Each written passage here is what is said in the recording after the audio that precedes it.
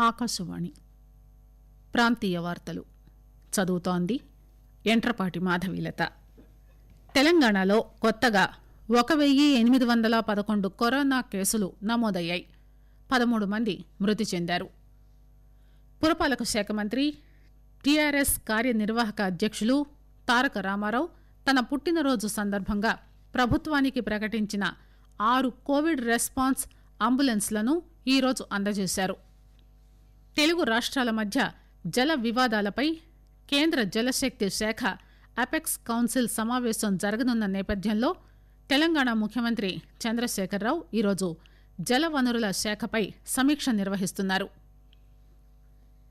కృష్ణా జల వివాదాల ట్రిబ్యునల్ పదవీ కాలాన్ని కేంద్ర జలశక్తి శాఖ ఆగస్టు ఒకటి నుంచి మరో ఏడాది పాటు పొడిగించింది. బక్రీద్ సందర్భంగా అక్రమ జంతు వధ జరగకుండా చర్యలు తీసుకోవాలని హైకోర్టు తెలంగాణ ప్రభుత్వాన్ని ఆదేశించింది. తెలంగాణలో కొత్తగా ఒక వెయ్యి ఎనిమిది వందల పదకొండు కరోనా కేసులు నమోదయ్యాయి. దీంతో మొత్తం బాధితుల సంఖ్య అరవై వేల ఏడు వందల పదిహేడుకు చేరింది. నిన్న ఒక్కరోజే పదమూడు మంది మృతి చెందడంతో రాష్ట్రంలో ఇప్పటి వరకు కరోనాతో మృతి చెందిన వారి సంఖ్య ఐదు వందల ఐదుకు చేరింది. కరోనా నుంచి కోలుకుని నిన్న ఒక్కరోజే ఎనిమిది వందల ఇరవై ఒక్క మంది డిశ్చార్జ్ అయ్యారు.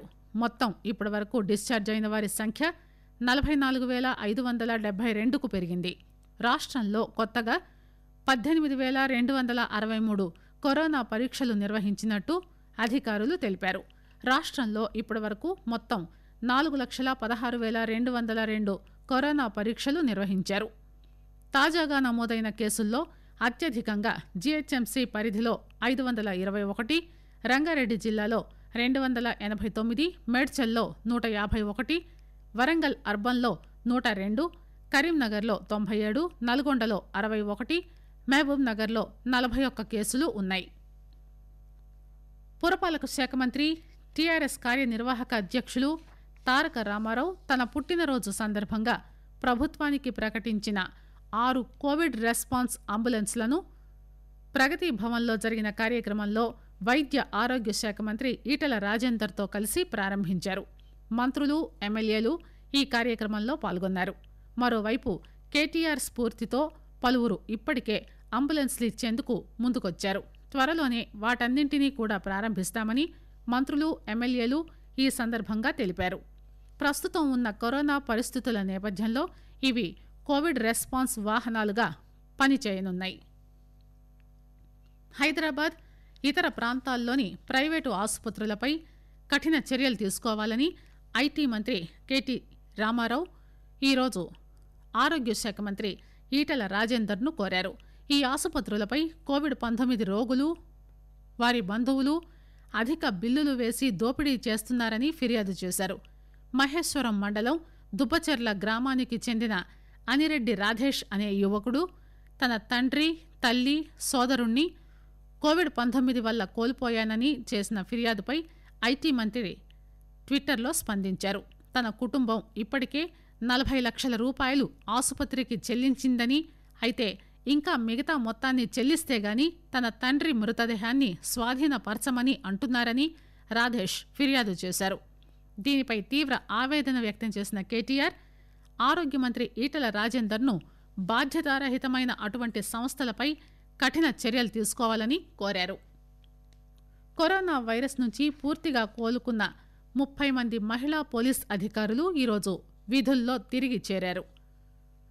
కోవిడ్ పంతొమ్మిదితో యుద్దం తర్వాత వారిని తిరిగి స్వాగతిస్తూ హైదరాబాద్ పోలీస్ కమిషనర్ అంజనీ కుమార్ ఒక కార్యక్రమంలో గౌరవ చిహ్నంగా వారికి ఒక బ్యాగు సర్టిఫికెట్ బహుమతిగా ఇచ్చారు. నగరంలోని వివిధ పోలీస్ స్టేషన్లలో పనిచేస్తున్న మహిళా పోలీస్ అధికారులు కరోనా వ్యాధి బారిన పడ్డారు. ఈ నెల ప్రారంభంలో వైరస్ బారిన పడి చికిత్స తర్వాత ఇటీవలే ఆసుపత్రి నుంచి డిశ్చార్జ్ అయ్యారు. వారు ఈరోజు తమ విధులకు హాజరయ్యారు. ఆకాశవాణి ప్రాంతీయ వార్తలు వింటున్నారు. తెలుగు రాష్ట్రాల మధ్య జల వివాదాలపై కేంద్ర జలశక్తి శాఖ అపెక్స్ కౌన్సిల్ సమావేశం జరగనున్న నేపథ్యంలో తెలంగాణ ముఖ్యమంత్రి చంద్రశేఖరరావు జలవనరుల శాఖపై సమీక్ష నిర్వహిస్తున్నారు. సమావేశంలో మంత్రులు ఉన్నతాధికారులు ఇంజనీర్లు పాల్గొన్నారు. ప్రాజెక్టుల విషయంలో రాష్ట్ర వ్యూహం వాదనలు సంబంధిత అంశాలపై సీఎం సమీక్షిస్తున్నారు. కృష్ణా గోదావరి నదీ జలాల వివాదాలు అంశాలపై కేంద్ర జలశక్తి శాఖ వచ్చే నెల ఐదున అపెక్స్ కౌన్సిల్ సమావేశాన్ని ఏర్పాటు చేసిన విషయం తెలిసిందే. కేంద్ర మంత్రి గజేంద్ర సింగ్ షెకావత్ ఇరు రాష్ట్రాల ముఖ్యమంత్రులు కేసీఆర్ వైఎస్ జగన్మోహన్ రెడ్డి సమావేశంలో పాల్గొంటారు. బోర్డుల పరిధి ప్రాజెక్టుల డిపిఆర్లు గోదావరిలో నీటి వాటా కృష్ణా బోర్డు తరలింపు తదితర అంశాలను అపెక్స్ కౌన్సిల్ సమావేశం అజెండాలో పొందుపరిచారు. తెలంగాణ ఆంధ్రప్రదేశ్ మధ్య నీటి పంపకం వివాదాలను పరిష్కరించడానికి కృష్ణా జల వివాదాల ట్రిబ్యునల్ కేడబ్ల్యూడిటి పదవీ కాలాన్ని ఒక సంవత్సరం పాటు జలశక్తి మంత్రిత్వ శాఖ పొడిగించింది. గెజెట్ నోటిఫికేషన్ ద్వారా పదవీ కాలం రెండు వేల ఇరవై ఆగస్టు ఒకటి నుంచి ఒక సంవత్సరం పాటు పొడిగించారు. ఆంధ్రప్రదేశ్ పునర్వ్యవస్థీకరణ చట్టం రెండు వేల పద్నాలుగులోని సెక్షన్ ఎనభై తొమ్మిది కింద తెలంగాణ ఆంధ్రప్రదేశ్ మధ్య కృష్ణానది నీటి పంపకం వివాదాలను పరిష్కరించడానికి ఉద్దేశించబడింది. అదేవిధంగా ట్రిబ్యునల్లో ఖాళీని భర్తీ చేస్తూ ప్రభుత్వం త్రిపుర హైకోర్టు న్యాయమూర్తి జస్టిస్ ఎస్ తలపత్రాను నియమించింది. ఒడిశా హైకోర్టు మాజీ న్యాయమూర్తి కేడబ్ల్యూడిటి సభ్యులు అయిన జస్టిస్ బిపి దాస్ రాజీనామా ఫలితంగా ఈ ఖాళీ ఏర్పడింది. రాయలసీమ ఎత్తిపోతల పథకం విషయంలో ముందుకెళ్ళవద్దని కృష్ణానదీ యాజమాన్య బోర్డు మరోమారు ఆంధ్రప్రదేశ్ ప్రభుత్వానికి స్పష్టం చేసింది. అపెక్స్ కౌన్సిల్ అనుమతి లేకుండా ఏపీ ప్రభుత్వం కొత్త ప్రాజెక్టును చేపడుతోందని గతంలోనే తెలంగాణ ప్రభుత్వం ఫిర్యాదు చేసింది. రాయలసీమ ఎత్తిపోతల పథకానికి టెండర్లు పిలిచేందుకు ఏపీ ప్రభుత్వం సన్నద్దమైందని మరోమారు ఫిర్యాదు చేసింది. తెలంగాణ ఫిర్యాదుపై స్పందించిన బోర్డు ఆంధ్రప్రదేశ్ ప్రభుత్వానికి లేఖ రాసింది. అపెక్స్ కౌన్సిల్ అనుమతి లేకుండా ముందుకెళ్ళవద్దని తాము గతంలోనే తెలిపామని ప్రాజెక్టు డీపీఆర్ కూడా తమకు అందించలేదని బోర్డు లేఖలో పేర్కొంది. ఈ మేరకు కృష్ణానది యాజమాన్య బోర్డు సభ్యుడు హరికేష్ మీనా ఏపీ జలవనరుల శాఖ ప్రత్యేక ప్రధాన కార్యదర్శికి లేఖ రాశారు. బక్రీద్ సందర్భంగా జంతు వధ జరగకుండా అప్రమత్తంగా ఉండాలని హైకోర్టు ఆదేశించింది. అక్రమ జంతువధ చేస్తే చర్యలు తీసుకోవాలని ప్రభుత్వానికి కోర్టు సూచించింది. ఒంటెల అక్రమ రవాణా జంతువధ నిరోధించాలన్న డాక్టర్ శశికళ పిల్పై ధర్మాసనం విచారణ జరిపింది. కోర్టు ఆదేశాలతో హైదరాబాద్ రంగారెడ్డి జిల్లాల్లో జంతు వధ కేంద్రాలను తనిఖీ చేసినట్టు తెలిపిన ప్రభుత్వం అక్రమ జంతు వధపై రెండు కేసులు నమోదు చేసినట్టు స్పష్టం చేసింది. జంతు వధ నిబంధనల ప్రకారమే జరగాలని హైకోర్టు సూచించింది. జంతు మాంసం ద్వారా కూడా వ్యాధులు వ్యాపించే ప్రమాదం ఉందన్న ధర్మాసనం చైనాలో గబ్బిలాలు తినడం ద్వారా కరోనా వచ్చిందన్న ప్రచారం ఉందని తెలిపింది. మాంసం దుకాణాలను జీహెచ్ఎంసీ అధికారులు ఎప్పుడైనా తనిఖీలు చేశారా అని ప్రశ్నించింది.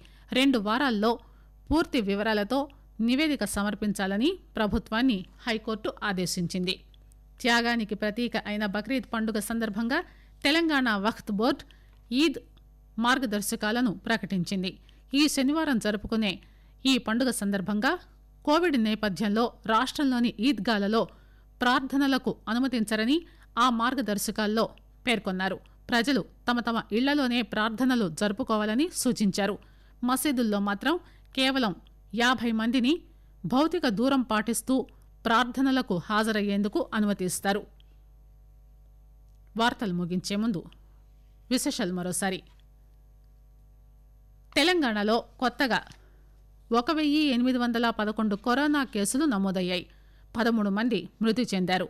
పురపాలక శాఖ మంత్రి టీఆర్ఎస్ కార్యనిర్వాహక అధ్యక్షులు అయిన తారక రామారావు తన పుట్టినరోజు సందర్భంగా ప్రభుత్వానికి ప్రకటించిన ఆరు కోవిడ్ రెస్పాన్స్ అంబులెన్స్లను ఈరోజు అందజేశారు.